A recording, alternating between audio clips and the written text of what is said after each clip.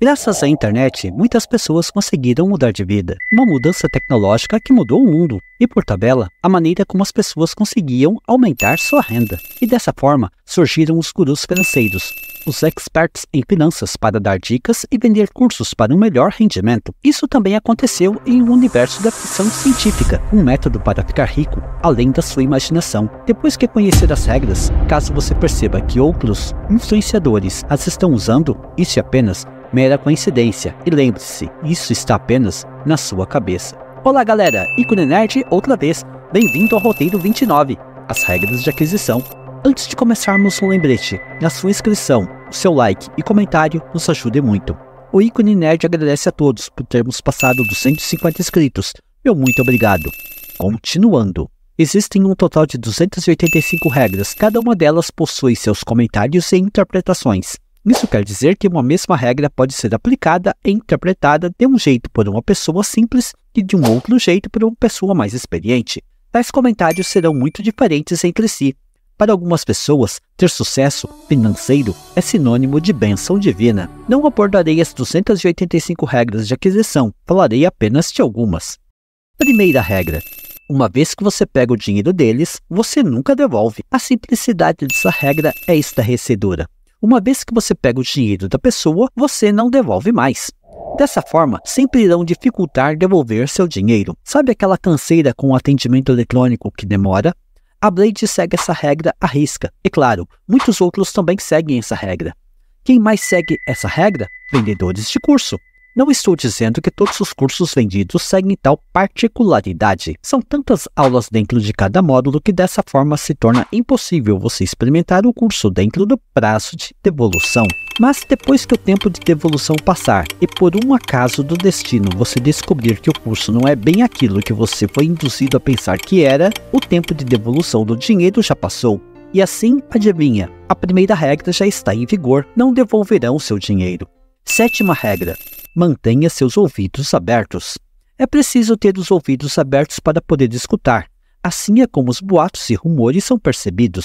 Dessa forma, aqueles que ouvem os rumores e boatos antes da maioria das pessoas se posicionam de tal maneira que possam ter um lucro melhor. Esse é o motivo pelo qual muitos youtubers buscam conteúdo na gringa. Assim podem chamar a sua atenção, e como foi dito no roteiro 01, todos querem atenção. Ao conseguirem sua atenção, o componente secreto que falamos no início deste vídeo é utilizado. Décima regra: a ambição é eterna. A décima regra é bem óbvia. Acha isso estranho? Observe alguns partidos políticos pelo mundo afora. Que importa as pessoas passarem fome ou não terem as condições para viver? Eles tendo seu lucro é o que é importante. Pense um pouco. Já viu o lucro de algumas empresas? São estratosféricos. E acha que eles se contentariam com menos? Claro que não. Querem sempre mais. Por isso é importante criar um novo curso bombástico, para que assim você fique animado em comprar. E uma vez que você compre o tal curso, começa a valer a primeira regra. Ou você achou que o exibicionismo exagerado de casas luxuosas tinha por objetivo apenas mostrar o padrão de vida dessa pessoa. Não se engane, isso também faz parte do componente secreto. Décima terceira regra. Qualquer coisa que vale a pena ser feita, vale a pena ser feita por dinheiro.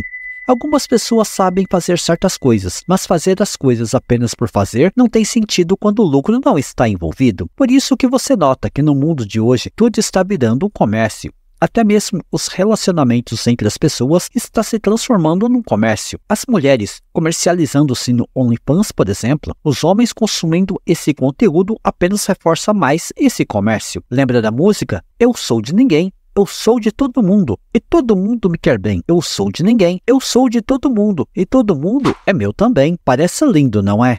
Mas para cada escolha, uma consequência. Depois que a consequência chega, de nada adiantará se arrepender, pois isso não mudará a consequência. Décima nona regra: a satisfação não é garantida. Quantos cursos você já comprou pensando que mudaria sua vida? No fim das contas, quem você acha que mudou de vida? Quem te vendeu o curso. Por isso, a 19 regra deixa bem claro que o cliente nem sempre ficará satisfeito com o produto.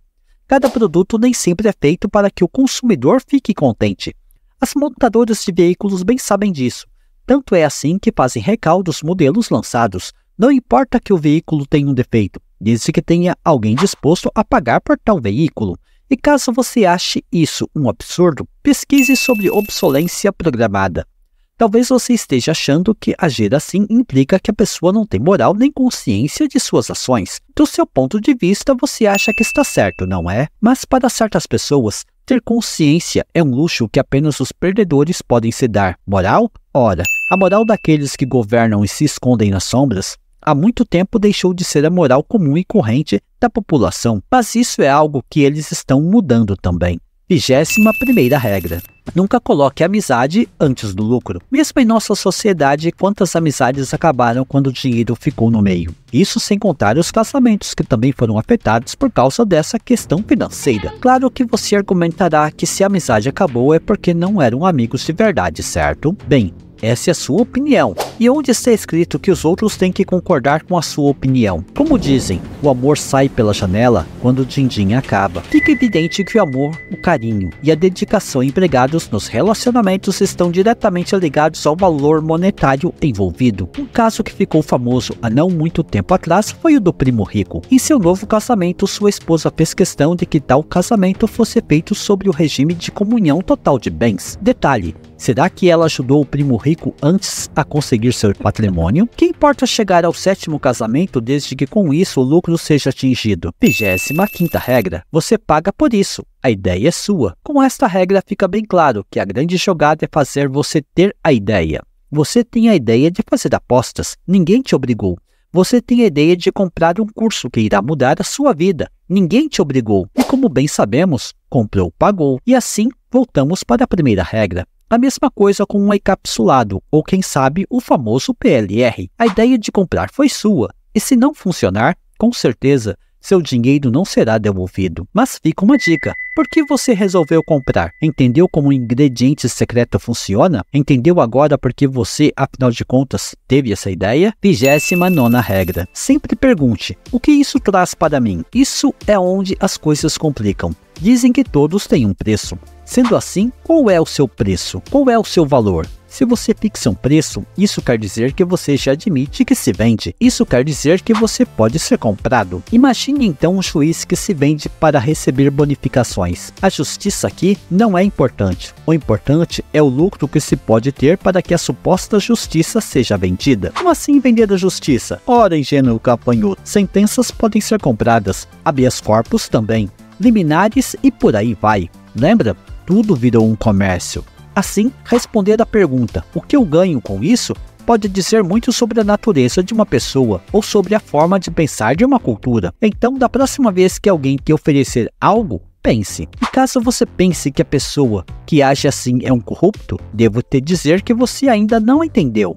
A pessoa em nenhum momento se considera um corrupto, ela apenas busca o lucro a qualquer custo. Para pessoas assim, vender a alma que ele pensa que não tem para um diabo que ele acha que não existe, não tem problema algum, desde que no fim das contas ele possa lucrar com isso. Agora você entende porque em certos países pelo mundo afora, os governantes legalizam leis que roubam e empobrecem o povo. Isso é apenas um efeito colateral de sua busca pelo lucro acima de tudo. Consciência? Isso é um artigo que na visão deles, não dá lucro. 37 regra. Se algo é grátis, pegue e se preocupe depois com os custos ocultos. E assim, Muitos foram embalados com promessas encantadoras de um curso ou lucrar com um foguetinho sumindo. Não conhecer as regras de aquisição é como algo que num princípio parece bom demais para ser verdade, mas tem um alto preço oculto por trás. E quando a pessoa descobre, quase sempre já é tarde. Já falamos em vídeos anteriores, mas nunca é demais repetir. O rato só entende porque o queijo é grátis na ratoeira quando é tarde demais. 74 regra: Conhecimento é igual a lucro. Para poder lucrar, é preciso ter conhecimento.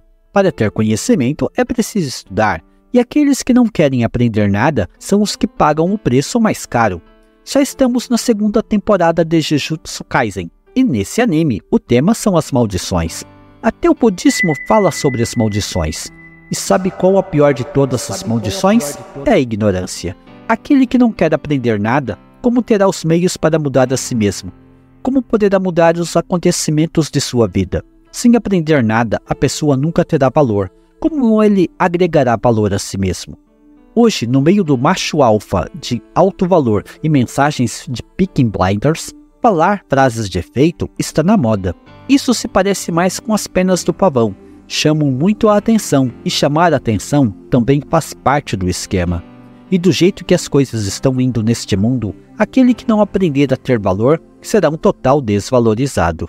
Octagésima regra. Ambição é conhecida por muitos nomes. Conhecida por muitos nomes, ambição e a ganância podem se disfarçar de sorrisos, caras e bocas, promessas vazias, tapinhas nos ombros e, claro, e em eventos presenciais em workshops também. E se você não conseguir ter resultado, é como a fé, você não tem fé o suficiente. Em resumo, a culpa é sua. Mas como você já pagou, adivinha? Continua valendo a primeira regra. Lembra do coach que tentou fazer uma pessoa em cadeira de rodas voltar a andar? Viu quantas pessoas estavam presentes? Claro que para estar ali ao vivo, foi preciso pagar uma certa quantia. E sabe de uma coisa? A pessoa na cadeira de rodas continuou na cadeira de rodas. 86 regra. Quando as probabilidades estão contra você, nunca desista, apenas saia fora. E assim, com o um mundo cada vez mais informatizado, com a quantidade cada vez maior de inteligências artificiais surgindo, é preciso entender quando algumas coisas simplesmente não funcionam ou dão errado. O importante não é desistir de seus objetivos, apenas saia disso, mas mantenha seus objetivos. Centésima regra. Se eles aceitarem sua primeira oferta, você pediu muito pouco pouco ou ofereceu muito. Quando pedimos muito ou ofertamos pouco, sempre teremos a sensação que o negócio foi mal realizado. Quando você foi comprar um produto, lembra que sempre tentam te vender algo mais?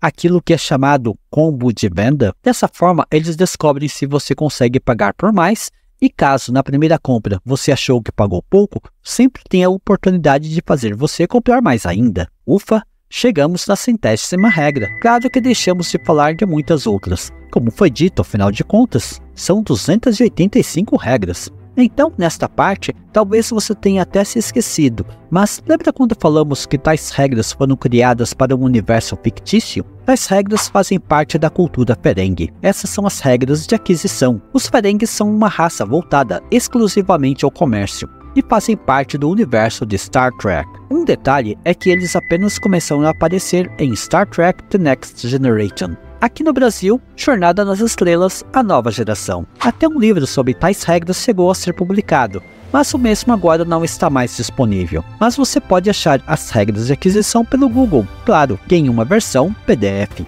Os Ferengues transformaram o comércio em sua religião. Tanto é assim que eles possuem o Tesouro Celestial. Esse é o lugar para onde vão os Ferengues após sua morte, desde que eles tenham conseguido obter lucro durante suas vidas. E como você bem sabe, algumas pessoas aqui em nosso mundo optaram por viver de acordo com um modo de vida perengue, o lucro acima de tudo. Você já deve ter visto algo por aí. Lembrou da regra de ouvir os rumores? Já ouviu o culto da prosperidade, que teu Deus te honrará, que a prosperidade é uma bênção? Teologia da prosperidade? Uma coisa certa, nunca se consegue agradar a gregos e troianos. E caso você ache que isto foi apenas um clickbait, a culpa não é sua, é apenas a sua opinião, e nem fui eu que criei as regras de aquisição. O objetivo foi concluído. Agora que você sabe que elas existem, as regras que você nem sabia que estavam sendo usadas em nosso mundo, você pode tomar mais cuidado. Fim de transmissão. Adendo. Claro que eu ia deixar para o final, ou você pensou que ia esquecer? você deve estar querendo saber o componente oculto. Esse componente oculto é o mais buscado e procurado. Vou explicar. Quando você entrou naquela onda de apostar num foguetinho sumindo, sabe por que você caiu nessa? Porque você confiou em quem te apresentou. Quando você comprou aquele curso que te falaram que ia mudar tua vida, sabe por que você comprou, não é? Porque você confiou nessa pessoa. Sabe quando chega a época das eleições? O que os políticos querem? Querem o teu voto de confiança neles. E sabe o que acontece depois das eleições, não é?